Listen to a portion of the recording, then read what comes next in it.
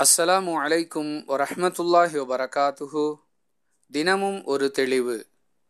கணவனுடைய ஜனாசாவை மனைவியும் மனைவியுடைய ஜனாசாவை கணவனும் குளிப்பாட்டலாமா? இது பலருக்கு ஏற்படக்கூடிய சந்தேகம். இன்ஷா அல்லாஹ் இதற்கான தெளிவை இன்றைய பதிவில் அறிந்து கொள்வோம். அன்பிற்குரிய சகோதர சகோதரிகளே ஆண்களுடைய ஜனாசாவை ஆண்களும் பெண்களுடைய ஜனாசாவை பெண்களும் குளிப்பாட்ட வேண்டும் என்பது பொதுவான வழிகாட்டுதல். அதே நேரத்தில் கணவனுடைய ஜனாசாவை விரும்பினால் மனைவியும் மனைவியுடைய ஜனாசாவை விரும்பினால் கணவனும் தாராளமாக குளிப்பாட்டலாம். ஏன் இஸ்லாம் ஆண்களுடைய ஜனாசாவை ஆண்களும் பெண்களுடைய ஜனாசாவை பெண்களும் குளிப்பாட்ட வேண்டும் என்று பொதுவான வழிகாட்டுதலை வழங்கி இருக்கிறது என்பதை நாம் அனைவருமே அறிந்திருக்கிறோம். ஒருவருடைய அந்தரங்கத்தை பார்க்க வேண்டிய சூழல் ஏற்படும் என்பதற்காகவே இப்படிப்பட்ட ஒரு பொது வழிகாட்டுதல் வழங்கப்பட்டிருக்கிறது.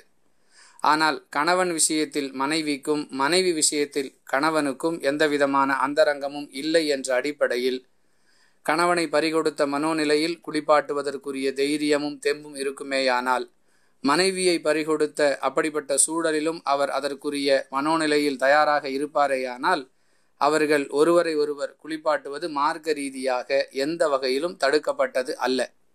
குளிப்பாட்டித்தான் ஆக வேண்டும் என்று இஸ்லாம் கட்டளையிடவில்லை. அனுமதி வழங்கப்பட்டிருக்கிறது என்பதை நாம் புரிந்து கொள்ள வேண்டும். எனவே தாராளமாக குளிப்பாட்டலாம் என்பதே இதற்கான தெளிவு. வாஹிருத அழ்வானா அனில் அஹமதுல்லாஹி ரபில் ஆலமீன். அஸ்ஸலாமு அலைக்கும் வரஹமத்துல்லாஹி வபரகாத்துஹூ.